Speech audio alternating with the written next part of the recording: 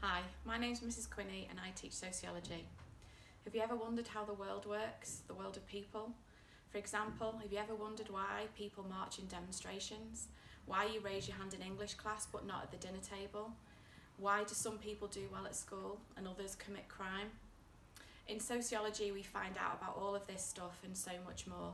You'll learn about you and your place in the world. Sociology is the scientific study of society and of human behaviour. At Cowley, we focus on four areas the family, education, crime, and beliefs. We also study the theory behind ideas and the methods or ways in which we study them. In sociology, you'll look at patterns of behaviour, for example, the difference between men and women when studying crime rates, or the social class of students who do well at school, or what age group are most religious. You want to find out more, find us on, on Twitter at, at Sociology Cowley, and I look forward to seeing you in September.